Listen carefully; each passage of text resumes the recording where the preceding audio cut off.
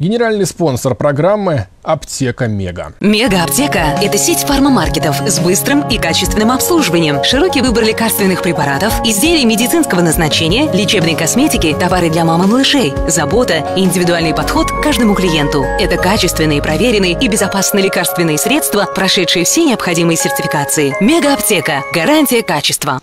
События, люди и явления, которые определяют наше время. Я Александр Ефанов. Здравствуйте.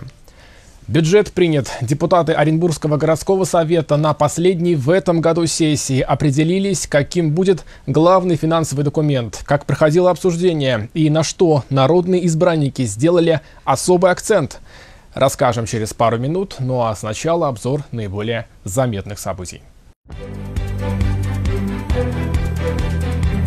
После пожара в трех торговых комплексах в Оренбурге провели рейд по всем крупным магазинам. Всего осмотрели 44 объекта.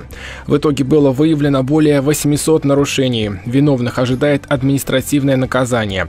Как отметил прокурор города Андрей Жугин, если нарушения не будут устранены, деятельность торговых комплексов приостановят. В Оренбурге готовится к открытию спуск к Уралу. Грандиозное событие произойдет уже в это воскресенье. Об этом сегодня рассказали в мэрии. Полностью завершили этап 2017 года. А, объект э, культурного наследия полностью восстановлен. Э, единственное, что э, на сегодняшний день не сделано, это финальная покраска, финальная шпаклевка, но температуры э, минусовые уже установились, и э, делать это сейчас нецелесообразно. Тем не менее, решение принято, объект будет функционировать всю зиму он э, готов, э, контракт э, полностью исполнен. Вообще открытие спуска и набережной – это лишь часть большой программы Оренбургского этапа Всероссийского фестиваля городской среды «Выходи гулять». Инициатором праздника выступил Минстрой России, а участниками стали все регионы, где в этом году происходила реализация федерального проекта формирования комфортной городской среды». В программе «Фестиваль национальных блюд», причем какими изысками побалуют горожан, пока держится в секрете, а также большая ярмарка. Стартует мероприятие на Верхней набережной у памятника Валерию Павловичу Чкалову. А, там будет установлена сцена и э, будут развернуты, э, так скажем, э, палатки, павильоны ярмарочные. Сейчас уже проработан вопрос об участии 80 представителей наших оренбургских товаропроизводителей с абсолютно всем спектром товаров, которые привыкли на ярмарках э, приобретать э, наши горожане. Время учиться экономить. На крайнем в этом году заседании городского совета депутаты наконец приняли главный финансовый документ Оренбурга. И несмотря на то, что впервые за много лет бюджет областного центра бездефицитный, его называют непростым и напряженным. Но радует одно – то, что он по-прежнему остается социально ориентированным и сбалансированным. Так, на чем будем экономить, а во что, напротив, вкладывать? Репортаж нашей Екатерины Киселевой. Бюджет впервые за долгое время принимается без дефицита. Он составляет почти 10 миллиардов рублей. Крайнее в этом году заседание Горсовета.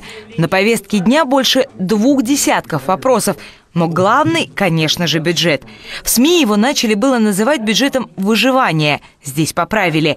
Главный финансовый документ областного центра – скорее бюджет разумной экономии – то есть тратить будем ровно столько, сколько зарабатываем. И наша главная задача – мобилизация доходов и экономия бюджетных средств. Основную долю собственных доходов составляют налоговые доходы. А в проекте бюджета четко определены приоритетные расходы. В первую очередь это исполнение майских указов президента. В целях выполнения дорожной карты и обеспечения достижения целевых показателей повышения оплаты труда дополнительно предусмотрено 163 миллиона на обеспечение МРОД работников бюджетной сферы. Напомню, что было 8 970 рублей, станет 10 912. Иными словами, больше 70% расходной части бюджета потратят на социальную сферу. Я могу, наверное, самое элементарное сравнение сделать с семейным бюджетом. То есть каждый у себя дома э, свой бюджет, э, семейный бюджет распределяет так, чтобы тех денег, которые они зарабатывают, хватало на то, что они тратят. В первую очередь все те указы майские, которые изданы президентом, они будут выполняться в первую очередь. А это значит, что зарплата муниципальных, муниципальных э, работников э, будет соответствовать э, тому размеру, который установлен у нас по России. Получать больше станут и те работники социальной сферы, которых майские указы президента не коснулись. Именно из-за роста зарплат так выросли расходы на культуру, образование, физкультуру, но не только. Нашлось в расходной части бюджета место и для средств на создание нового центра гимнастики, строительство ФОКа в селах Краснохолм и Самородово, на новую школу в 20-м микрорайоне Оренбурга и продолжение ремонта эстакад автодорожной развязки по улице Донгусского и Лекского шоссе. Еще в перечень приоритетов вошли выделение средств на ремонт Центральной городской библиотеки имени Некрасова, увеличение расходов на мероприятия по благоустройству территории округов, это содержание садов, парков и скверов, и по благоустройству сельских населенных пунктов. Отдельным решением Совета продлено действие добровольных обязательств муниципалитета по выплатам молодым медицинским работникам, которые после учебы остаются работать в городских больницах. Напомним, выплаты появились в 2016 году благодаря решению Совета, и на сегодняшний день ими воспользовались 45 молодых специалистов. В общем, после детального анализа, прогнозов, дебатов, главный документ областного центра наконец приняли. Решение Оренбургского городского совета принято. Еще один вопрос, к которому снова вернулись депутаты. Нестационарные объекты, незаконно размещенные на улицах Оренбурга. Их немало, несколько десятков. Речь сейчас идет о том, чтобы разобраться, что с ними делать. Наша цель э, – оставить э, законных предпринимателей, которые ведут свою деятельность в правовом поле, и э, демонтировать объекты, те, которые незаконные. А еще на горсовете сегодня вспоминали тех, кто прославил Оренбуржье. Вспоминали, чтобы увековечить. Например, одну из улиц областного центра назовут именем Героя Советского Союза Николая Рощина. Улица Рощина в честь Героя Советского Союза Николая Андреевича Рощина в застраиваемом микрорайоне, э, так скажем, ориентир за э, метров э, так называемые времена года. Кроме того, в Оренбурге появятся мемориальные доски выдающемуся российскому ученому-лингвисту, писателю Владимиру Далю, Михаилу Карамзину, отцу историка Николая Карамзина, и известному оренбургскому педагогу, краеведу, общественному деятелю и почетному гражданину города Виктору Дорофееву. Елена Кузнецова, Екатерина Киселева, Максим Максимлюк. Наше время.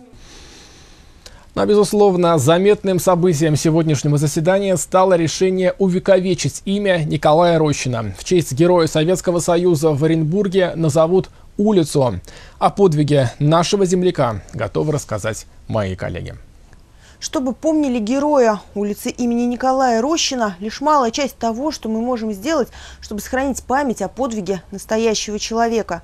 Николай Андреевич Рощин родился в селе Ольховка в июне 1922 года и рос простым, веселым деревенским парнем. Помогал родителям, учился в школе, работал обувщиком. В октябре 41-го мирная жизнь Николая Рощина закончилась. Он был призван на службу в ряды рабоче-крестьянской Красной Армии. С февраля 1943 года служил на фронтах Великой Отечественной войны. Был дважды ранен в боях, но службу не оставил. Сражался на северо-западном и втором украинском фронтах. Участвовал в боях под Старой Руссой, на Курской дуге, освобождал Украину, Молдавию, Чехословакию, Венгрию. К ноябрю 1944-го гвардии сержант Николай Рощин уже командовал саперным взводом 3-го гвардейского воздушно-десантного полка. 5 ноября 1944 года сержант Рощин при форсировании реки Тиса в районе венгерского Тисоселиша на лодке и двух плотах с бойцами его подразделения под ураганным вражеским огнем совершил 10 рейсов, переправляя пехоту и легкую артиллерию. Отважно и решительно взвод гвардии сержанта Рощина действовал и при форсировании реки Малая Тиса, способствуя расширению захваченного плацдарма. 24 марта 1945 года указом Президиума Верховного Совета СССР за образцовое выполнение боевых заданий на фронте борьбы с немецко-фашистскими захватчиками и проявленное мужество и героизм гвардии сержанту Николаю Андреевичу Рощину присвоено звание Героя Советского Союза с вручением ордена Ленина и медали «Золотая звезда». После демобилизации Николай Андреевич жил в Оренбурге, работал на авиационном заводе вплоть до 1990 года. Заслуженный ветеран принимал активное участие в общественной жизни города, работал в Совете ветеранов Оренбурга.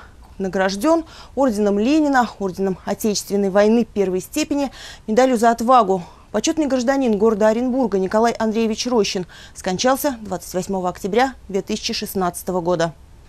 Ну а вообще уходящий год депутаты Горсовета назвали вполне продуктивным. Вот какие события и свершения из тех, которым приходилось прикладывать руку, запомнились народным избранникам больше всего. Во-первых, благоустройство в первую очередь. Мы для себя ставили эту задачу и по ней работаем. Не могу сказать, что мы э, добились тех целей, которые для себя ставили, но мы уверены на верном пути. И за этот срок, который нам еще остался отработать, мы те задачи, которые перед собой ставили, я уверен, мы доведем до конца. Мы смогли отстоять, и все-таки э, в этом году не произошло повышение э, цены в муниципальном транспорте. Это то, что очень важно оренбуржцам и важно избирателям. Ни одной какой-то либо социальной напряженности мы не допустили. Зарплата все вовремя.